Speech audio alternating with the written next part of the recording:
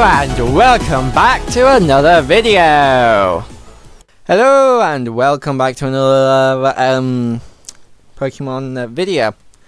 Um, you know, this time we'll be doing Generation 4 because we've done Generations 1 through 3 um, before, so um, we'll do Generation 4 now. And it's me again because Max is busy today. So, just like in every previous generation, we're going to have all of the starters because I doubt they'll get rid of many, if any, of the status. and it's going to be hard to tell which status, if any, they are actually going to get rid of. Actually, I'm going to zoom in a little bit here. Starly line can stay because I um Starly. I don't know if, if there's any many of them, many Starlies in England, but um, I just like the Starly line. Bidoof is cute and I do love Bidoof, but there's no there's not really any beavers in England. Actually, did there used to be beavers in England? There might have been, but I don't think there is anymore. I don't know. I'm gonna actually I'm gonna make Bidoof and Bibarel a possible. I'm gonna do half or maybe. I don't think Kricketot or Kricketune will be in it because um, even though they do have the best cry, still they do whoop. Um, they're they're just um, probably not gonna be there. I see no real reason for the Shinx line to be there, although I do love, I do think Shinx is cute, I do think Luxray looks cool, but I don't think there's any real reason for them to be there. I think Budew and Roserade will be there, and I don't know about the fossils. Again, fossils, um, they're, they're like the starters. They could be in, they could, they could not be in it. I don't know because you, the, you, you know, you are it would be possible either way. Like you just need to go like um, into the mines or quarry or somewhere and get fossils. So I don't know. I'm gonna get rid of the Burmy line because who gives? Nobody really cares about Burmy, and who gives a damn about Wormadam? And then that means Mothim has to go. I think Combee and Vespiquen have actually been confirmed, but yeah, we do have bees, so I guess they can stay. I, am gonna say possibly we can stay because we do have squirrels here. Like we, there's even like the British. Uh, I think it's British red squirrels or I know there's there's British squirrels and American squirrels. So maybe there might be a Pachirisu and then another species of squirrel, and maybe that Pachirisu and the other species of squirrel fight. Like one could be ground or new one could be ground or something that's weak to electricity or something like that. Um, Buizel and Floatzel. I don't know the water, so I don't know. I I really don't know about water because we there is a lot of water with it. With us just being an island, um, so possible, but I don't know uh, about that. Cherubi and Cherrim. I don't know. I don't think cherries grow in the wild around here, so probably not.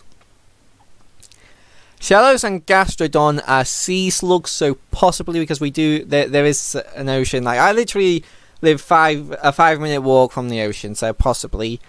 Ambipom, uh, probably not because there's no real reason for Aipom to be in it.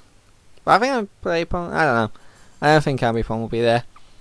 Drifloon and Drifblim, maybe. Um, maybe I just uh, the balloon and the blimp, so maybe they'll be in it. I see no real reason for Buneary and the Lopunny to not be in England because there are rabbits here. Rabbits do live in the wild around here. I want Mismagius to be in it because there's a ghost step and I like the ghost step. Honchkrow um, should be in it because I think uh, Murkrow, I put Murkrow down as being in. I, I don't even, uh, maybe Murkrow might even be confirmed, I don't know. I, I see no reason for Glameow and Purugly to be not be in it. Um, Chingling is barely can be in there, I guess. I don't know about Stunky and Skuntank because we don't really have any um, skunks around here, so possibly because uh, they do have a unique typing, but I'll give them like maybe, maybe not 50-50 chance on them. Confirmed, which makes me happy because um, Bronzong is a good um, trick room setter. I don't know about Bonsly. I don't know. Sudowoodo, I don't know. And uh, nope. Happiny, yes, I can. I guess Happiny can stay. Um, Chatots, well, African greys are one of the most common types of pets, so I guess you could go off like Chatots are one of the most common types of pets. Spiritomb because why not? And they could they could live like near or around Stonehenge, or whatever Galar's equivalent of Stonehenge is. I want to Gible, Gabite and Garchomp just because I love them, but I do also think we do have a desert so they could live in there. Munchlax, uh, I think Snorlax has been confirmed, maybe, I don't know. My only one Lucario will probably just be in it just because they're fan favourites. Um, again, Hippowdon and Hippowdon, we do have a desert so they could live there. Same with Skorupi and Drapion. I just want Croagunk because it's cool. Uh, Carnivine can go. Finneon and Lumineon. Well, they could be in there, they're just forgettable, so I don't really want them in there. Um, I think Mantyke's been confirmed. Right. I like the idea behind Snover and the Abomasnow. I don't like their typing. Ice is a nice offensive type, not a slow, bulky type. So they can uh, go. But Weavile has to be in it if, if we're talking competitively, because Weavile is the only non-legendary OU ice type. And then the only other ice type that is above it is in Uber. The only other ice type that's not in OU, that isn't uh, below OU, is an Ubers, and that would be uh, Kyurem White. And Kyurem Black is OU. So Weavile needs to be in there just because it, we need a uh, good um, ice type. Magnezone because it's legitimately one of the best designed Pokemons of all time. Lickilicky can go a bye-bye. I mean, right, let's talk about Lickilicky quickly. They did the best with what they had. That's enough said. Rhyperior should uh, should stay. Tangrowth. Well, yeah, we actually did see the desert area when we saw Tyranitar, so Rhyperior or, or Rhydon could live with, live in the same area as Tyranitar uh, Electivire and Magmortar. I don't think we have any lava areas, so maybe not Magmortar. Um, I don't know about that, but maybe they could live in like industrial near or around in or around industrial cities um, to fuel furnaces or something like that, and Electivire. Uh, that that could you could work that in as well. Togekiss because I want uh, that Serene Grace. Yanmega because it's cool. Leafeon because Eevee's probably going to be in it, let's be honest. Gliscor because it's got a unique typing and is actually quite good in uh, competitive. Mamoswine because it's legitimately one of the best ice types. While it's not OU like uh, Weavile, it is still pretty dang good. Polygon Z because I love it. Gallade because it's a unique typing. And I think Volsov will probably be in it, I don't, probably. Probopass I don't know. I see no real reason that I can think of off the top of my head to have it in, but I wouldn't mind having it in. Dusknoir, oh, excuse me, Dusknoir because it's ghost type, Froslass, ghost type, Rotom, ghost type, and the forms come with it. I, I love ghost type if you couldn't tell. Uxie, Mesprit, and Azelf. Right, so here's something I gotta talk about. Um, so yes, Generation 4 is my favourite, and I do criticise Generation 5 for having a lot of legendaries. Um, yeah. But while I will say Generation 4 does have a, a good number of legendaries, um, they are, for the most part, um, warranted, and it the fact the the whole thing around Generation Four was building up lore and the, everything around Pokemon. So event eventually, so these uh, so like um something like the, uh, a Pokemon that controls time and space and the just God Pokemon was probably inevitable. If Gen 4 didn't do it, then the later generation probably would have at some point. Anyway, the three beings that embody emotions. I see no real reason that they would not be in Galar. They live in in lakes in Generation Four, um, but and there are a lot of lakes uh, in England. Well, there's a lot of water in general around here, so I see no real reason for them to not be in Galar. But then again, I'm only going to give them half. You know, a 50-50 chance on them because um, again, they don't want too many legendaries, so maybe could announce some of the more not as memorable. While because um, I don't think they're re even really that high tier. Like, if I quickly go over to here, work offline, team builder, Ux, Uxies is you, mess, spread is PU.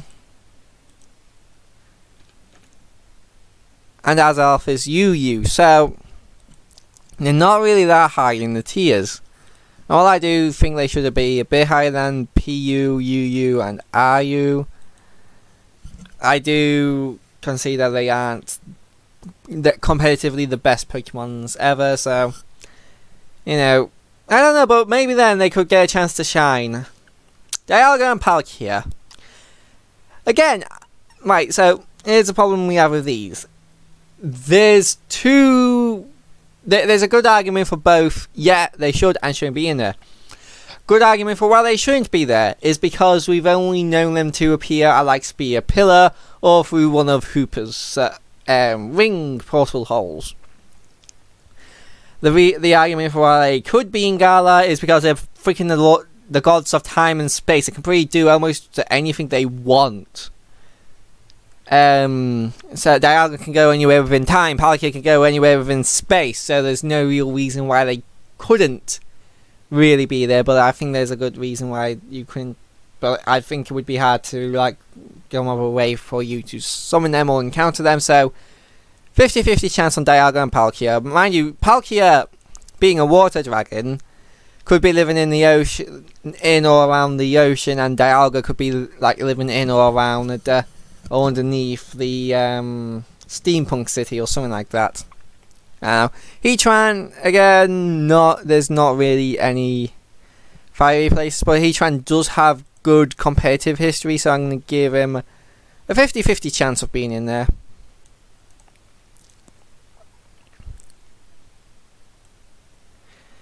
Reggie Gigas. Reggie Gigas. Hmm. Now this is an interesting one. Um. Okay, no, hold on, just just quickly, yeah.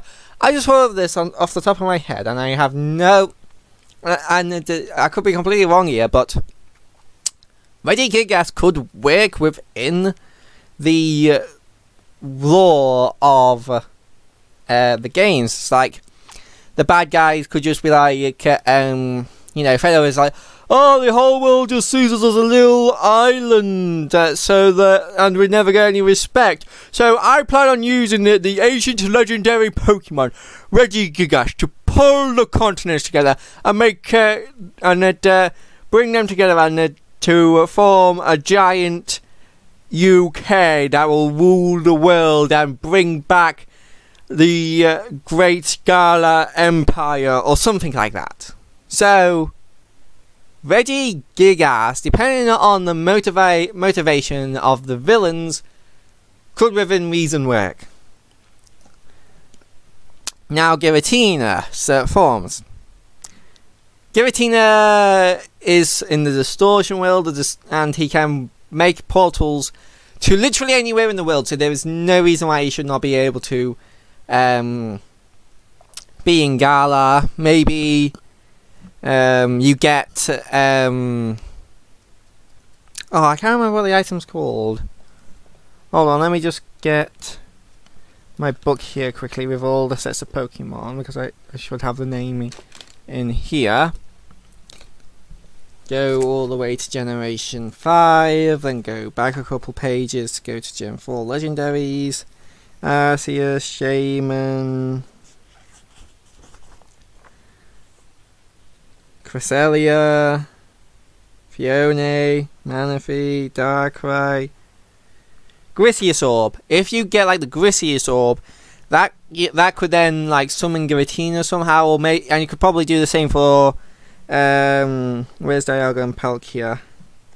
Like the Adamant Orb, I think it's called for Dialga, and yeah, it's Lustrous Orb for Palkia, and for Dialga, it is the Adamant Orb. So you you could use them to summon Dialga, Palkia, and Giratina, being as they can pretty much go anywhere within time and space. But the question again is where you would do that. But again, I guess you could tie it to their typings. With Palkia being water type, you could do it out of the ocean, and with Dialga being steel type, you could do it in the steampunk place, and Giratina maybe you could do it in a haunted haunted mansion or something like that. Cresselia can be pretty much be summoned with Lunar Rings, wing, not ring. So there's no reason why Cresselia couldn't be there. I have no doubt that Manaphy and or Phione will be there because you know they live in the they live in the ocean. Well, uh, like I said, the ocean's like five minute walk from where I live. Darkrai, again, if you're gonna have Cresselia, probably gonna have Darkrai. Shaymin. Well, I love Shaymin. Like I think his landform's adorable, and I do like his uh, sky form and the shiny is he, he basically becomes Sonic, and I do like that. I can't really think off the top of my head any real reason for Shaymin to be in Galar. And last but not least, Arceus. Uh, right, so this really hinges on two things. On a, you know, on two things. And those two things are Dialga and Palkia. If you can get Dialga and Palkia, then uh, you would probably be able to use them to summon Arceus. Just like, hey, good job, you captured uh, Dialga and Palkia, now you get to battle me, Arceus. Yeah. So those are the Pokemon from Generation 4 that I do think, do and don't think will be in Galar. Oh, there's just like, uh, I think I you I think I got rid of very few Mons. Yeah, there's not many Mons here that I actually got rid of. Like if we go back to Gen 5, just like massive areas, just like Mons being removed. Here, just like it, not massive areas, but there's a you can see there's a lot of Mons that have been removed. And again, lots of Mons here have been removed as well. So yeah, I guess I, my uh, my Gen 4 love here might make me a tad bit biased towards keeping them but I or for the most part I have all, I have managed to justify what how I could think they would could how I think they would fit in Galar. It's only on the odd occasion like with these ghost types it was, like the ghost type I love ghost type they're staying in also the Gen 4 there's just better or Magnezone having like um one of the best designs in all of Pokemon. But yeah, and well, actually, I'll I'll make Arceus a maybe here because because it really depends on if Pal Dial if you can get Dialga and Palkia. But I do think that um, if there will be Generation 4 remakes, then this list Right, eh, let's let's uh, look at this under. There's probably going to be Gen 4 if there's going to be Generation 4 remakes. If there's going to be Generation 4 remakes, no starters, um, no Starly, um, no Cranidos or Shieldon, uh, no Pachirisu, no Buizel or Floatzel, no Shellos or Gastrodon, uh, no Drifloon or Drifblim, uh, no Mismagius, no Glameow, no Chingling. No uh, Skuntank, no um, Spiritomb. Um, why did it just zoom out all the way? You know, just basically just remove like most of this list if there are going to be Generation 4 remakes. Because you're just going to be able to get them all in them, I guess. Maybe. I don't know. It's a bit odd because, again, nothing like this has happened before, so it's a bit like how do we tell if they're hinting at future games. Like before, um, like in Generation 4, um, you could tell that they were into like Gen 2 remakes because you couldn't really get many Gen 2 Pokemon in Gen 3. I don't know, could you? I, I haven't played Gen 3 that much, but uh, even outside, if you didn't have Gen 3, you wouldn't be, really be able to get many Gen 2 Pokemon, and even then you'd have to get um, Fire Red and Leaf Green, I think. Um, so yeah, it's just like a lot of hinting that Gen 2 remakes could be on the way, but I, I don't know if excluding Pokemon will mean that, uh, that they're hinting at remakes anymore because it could because then why would they make the I don't know I don't know but I, I do think there will be Gen 4 remakes. Eventually you know after this like I do think after like Sword and Shield there's gonna be Gen 4 remakes. Anyway I'll see you guys in the next video. Bye bye if you liked this video, don't forget to hit that like button, comment down below what you thought of this video, and uh, if you want to see more of my stupid face, don't forget to hit that uh, subscribe and uh, ring and ding uh, that uh, notification bell, otherwise YouTube won't uh, notify you when I'm uploading videos for some unknown reason. And I'll see you guys in the next video.